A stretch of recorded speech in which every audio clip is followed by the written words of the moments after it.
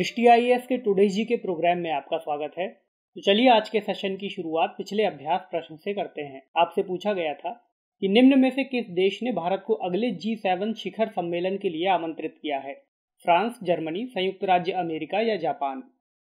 अमेरिकी राष्ट्रपति Donald Trump ने भारत के प्रधानमंत्री नरेंद्र मोदी को अगले जी सेवन शिखर सम्मेलन के लिए आमंत्रित किया है। राष्ट्रपति ट्रंप ने जी सेवन समूह को पुराना बताते हुए इसके विस्तार की बात कही है। वे इस समूह में भारत सहित अन्य महत्वपूर्ण देशों, जैसे रूस, ऑस्ट्रेलिया और दक्षिण कोरिया को सदस्य बनाना चाहते हैं। गौरतलब है कि जून 2020 में होने वाली जी सेवन की बैठक स्थगित कर दी गई है। इसलिए यह प्रस्ताव अगली बैठक के लिए है। भारत ने 2019 में फ्रांस के राष्ट्रपति इमैनुअल मैक्रोन द्वारा आमंत्रित किए जाने के बाद जी सेवन शिखर सम्मेलन में विशेष अतिथि के रूप में भाग लिया था। जी सेवन के वर्तमान सदस्य देशों में Canada, France, Germany, Italy, Japan United Kingdom और संयुक्त राज्य अमेरिका शामिल हैं। तो इस प्रश्न का सही जवाब है ऑप्शन सी यानी संयुक्त राज्य अमेरिका। पहला प्रश्न, विदेशों से भारत लौटने वाले श्रमिकों के कौशल की मैपिंग के लिए सरकार ने स्वदेश पहल की शुरुआत की है। यह पहल किस मिशन के तहत शुरू की गई है? ऑप्शन है, Atal innovation mission, Vande Bharat mission, Swachh Bharat mission या जल जीवन मिशन। विदेशों से भारत लौटने वाले श्रमिकों के कौशल की मैपिंग के लिए सरकार ने वंदे भारत मिशन के तहत स्वदेश पहल की शुरुआत की है। स्वदेश का पूरा नाम skilled workers arrival database for employment support है। इस कार्यक्रम के तहत लौटने वाले नागरिकों को एक स्वदेश कौशल फॉर्म भरना आवश्यक है, जिसके बाद स्वदेश कौशल कार्ड जारी किए जाएँगे। इस पहल का उद्देश्य आने वाले योग्य नागरिकों का कौशल और अनुभव के आधार पर एक डेटाबेस तैयार करना है, जिसका उपयोग भारतीय और विदेशी कंपनियों की मांग को पूरा करने के लिए किया जाएगा। तो इस प्रश्न का सही जवाब है ऑप्शन बी, यानी वंदे भारत मिशन। दूसरा प्रश्न, केंद्र सरकार ने हाल ही में कोलकाता बंदरगाह का नाम बदलने को मंजूरी दे दी है। इसका नाम बदलकर क्या किया जाएगा? ऑप्शन है अटल बंदरगाह, श्यामा प्रसाद मुखर्जी बंदरगाह, नेताजी सुभाष बंदरगाह या सरदार पटेल बंदरगाह। प्रधानमंत्री की अध्यक्षता में केंद्रीय मंत्रिमंडल ने कोलकाता बंदरगाह का नाम बदलकर श्यामा प्रसाद मुखर्जी बंदरगाह करने की स्वीकृति दे दी है। कोलकाता बंदरगाह ट्रस्ट के न्यासी बोर्ड ने भी इसका नाम बदलने का प्रस्ताव पारित कर दिया है। कोलकाता बंदरगाह देश का पहला प्रमुख बंदरगाह होने के साथ साथ देश का एकमात्र नदी बंदरगाह भी है। कोलकाता बंदरगाह द इंडियन पोर्ट्स एक्ट 1908 की पहली अनुसूची में शामिल है और इसका प्रशासन मेजर पोर्ट ट्रस्ट एक्ट उन्नीस के अंतर्गत किया जाता है। गौरतलब है कि श्यामा प्रसाद मुखर्जी एक प्रख्यात न्यायविद, शिक्षाविद, विचारक और जनता के नेता के रूप में जाने जाते हैं। तो इस प्रश्न का सही जवाब है ऑप्शन बी, यानी श्यामा प्रसाद मुखर्जी बंदरगाह। तीसरा प्रश्न, international day of innocent children victims of aggression कब मनाया जाता है? ऑप्शन है दो जून, तीन जून, चार जून या छह जुलाई। चार जून को international day of innocent children victims of aggression मनाया जाता है। इस दिवस को मनाने का उद्देश्य दुनिया भर के उन बच्चों की पीड़ा को समझना है, जो शारीरिक, मानसिक और भावनात्मक शोषण का शिकार हैं। संयुक्त राष्ट्र महासभा ने उन्नीस सौ बयासी में अपने विशेष सत्र के दौरान इस दिवस को मनाने की घोषणा की थी। यह दिवस बच्चों के अधिकारों की रक्षा के लिए संयुक्त राष्ट्र की प्रतिबद्धता की पुष्टि करता है। तो इस प्रश्न का सही जवाब है ऑप्शन सी यानी चार जून। चौथा प्रश्न, हाल ही में बिमल जुल्का समिति ने केंद्र सरकार को अपनी रिपोर्ट सौंपी है। यह रिपोर्ट किस क्षेत्र की समीक्षा से संबंधित है? ऑप्शन है फ़िल्म मीडिया भारत चीन सीमा विवाद, रक्षा समझौते या अंतरिक्ष प्रक्षेपण। सूचना एवं प्रसारण मंत्रालय के अंतर्गत आने वाली फ़िल्म मीडिया इकाइयों को तर्क संगत बनाने, बंद करने, विलय करने तथा मंत्रालय के अंतर्गत स्वायत्त निकायों की समीक्षा पर गठित विशेषज्ञ समितियों ने अपनी रिपोर्ट सौंप दी है। इन समितियों का गठन श्री बिमल जुल्का की अध्यक्षता में किया गया था। रिपोर्ट में राष्ट्रीय फ़िल्म विकास निगम film division, children's film society of India, Satyajit Ray film and television institute film महोत्सव निदेशालय और भारत के राष्ट्रीय फ़िल्म अभिलेखागार आदि के विकास के लिए विशिष्ट रोड मैप की सिफारिश की गई है। तो इस प्रश्न का सही जवाब है ऑप्शन ए यानी फ़िल्म मीडिया पांचवा प्रश्न ग्लोबल इकोनॉमिक प्रोस्पेक्ट्स रिपोर्ट कौन जारी करता है? वर्ल्ड बैंक आईएमएफ ओईसीडी या NITI Aayog? Global economic prospects report world bank द्वारा जारी की जाती है। हाल ही में वर्ल्ड बैंक ने आंशिक रूप से ग्लोबल इकोनॉमिक प्रोस्पेक्ट्स रिपोर्ट जारी की है। इस रिपोर्ट में कहा गया है कि देशों को कोविड 19 स्वास्थ्य संकट से उबरने के लिए रिकवरी प्रक्रिया को तेज करने संबंधी कदम उठाने चाहिए। वर्ल्ड बैंक ने देशों को अल्पकालिक उपाय अपनाने के अलावा ऐसी व्यापक नीतियों पर ध्यान केंद्रित करने की सलाह दी है, जो दीर्घकालिक विकास को बढ़ावा देती हों और जिनसे शासन और व्यावसायिक वातावरण में सुधार हो सके। रिपोर्ट में महामारी के बाद उभरे नए उत्पादक क्षेत्रों की ओर नई पूंजी आवंटित करने के महत्व पर प्रकाश डाला गया है। रिपोर्ट में अनुमान लगाया गया है कि महामारी के चलते वर्ष 2020 में लगभग 60 मिलियन लोग अत्यधिक गरीबी में धकेले जा सकते हैं। तो इस प्रश्न का सही जवाब है ऑप्शन ए यानी वर्ल्ड बैंक। छठा प्रश्न, भारत के संविधान में अंतर्राष्ट्रीय शांति और सुरक्षा की अभिवृद्धि का उल्लेख कहाँ है? संविधान की उद्देशिका में राज्य के नीति निदेशक तत्वों में, मूल कर्तव्यों में, या नौवीं अनुसूची में।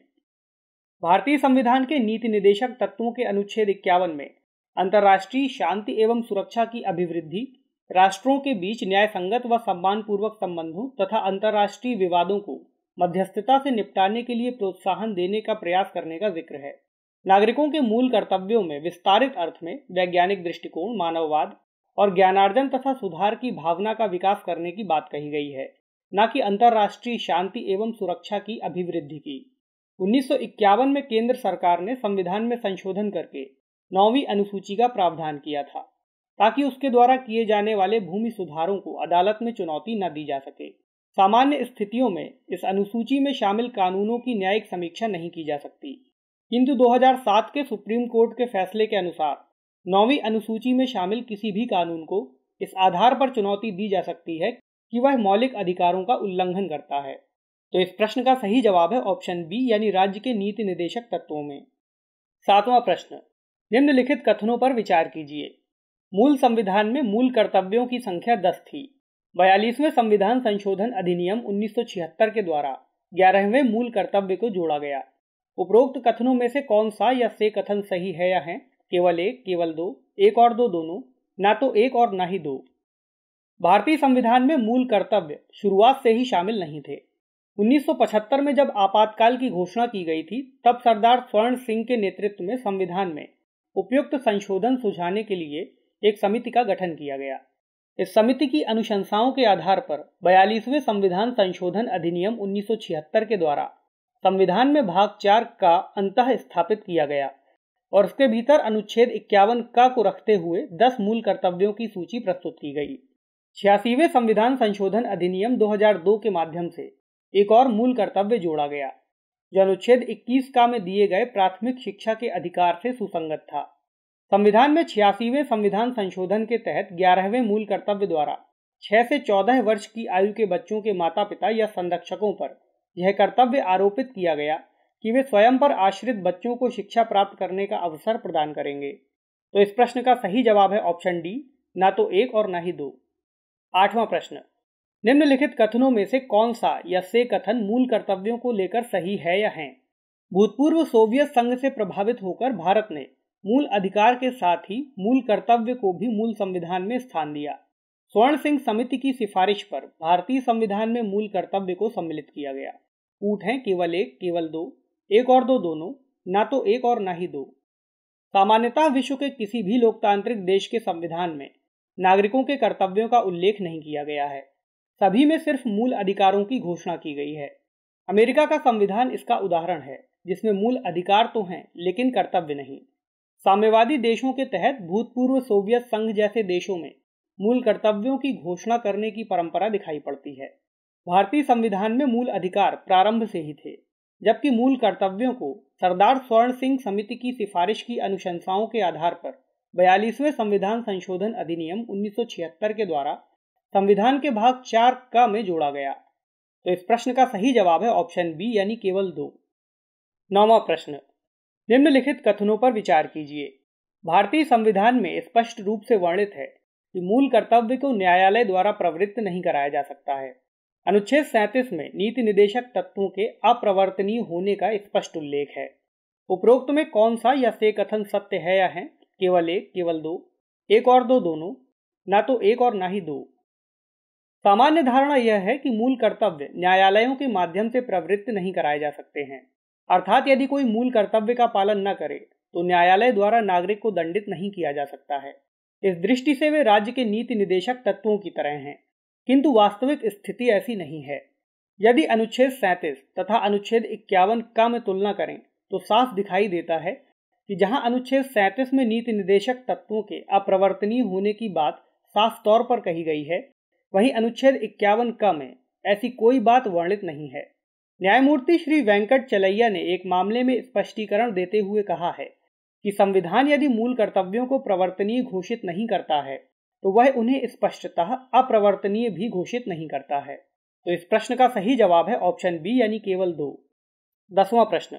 कथन है, प्राकृतिक पर्यावरण की जिसके अंतर्गत वन झील, नदी और वन्य जीव हैं, रक्षा करें और उनका संवर्धन करें तथा प्राणी मात्र के प्रति दया भाव रखें। यह किस मूल कर्तव्य में संबोधित किया गया है? ऑप्शन है अनुच्छेद इक्यावन का ख, अनुच्छेद इक्यावन का ग, अनुच्छेद इक्यावन का घ अनुच्छेद इक्यावन का छ। भारतीय संविधान के भाग चार का तथा अनुच्छेद इक्यावन का के अनुसार भारत के प्रत्येक नागरिक के लिए कुल ग्यारह मूल कर्तव्य हैं। इनमें से कुछ प्रमुख मूल कर्तव्य निम्नलिखित हैं। अनुच्छेद इक्यावन का ख। इसके अनुसार स्वतंत्रता के लिए हमारे राष्ट्रीय आंदोलन को प्रेरित करने वाले उच्च आदर्शों को हृदय में संजोए रखें और उनका पालन करें शामिल है। अनुच्छेद इक्यावन का ग। भारत की प्रभुता, एकता और अखंडता की रक्षा करें और उसे अक्षुण्ण रखें। अनुच्छेद इक्यावन का घ। देश की रक्षा करें और आह्वान किए जाने पर राष्ट्र की सेवा करें। अनुच्छेद इक्यावन का छ। प्राकृतिक पर्यावरण की, जिसके अंतर्गत वन झील, नदी और वन्य जीव हैं, रक्षा करें और उनका संवर्धन करें तथा प्राणी मात्र के प्रति दया भाव रखें। तो इस प्रश्न का सही जवाब है ऑप्शन डी, यानी इक्यावन का छ में यह कथन वर्णित है।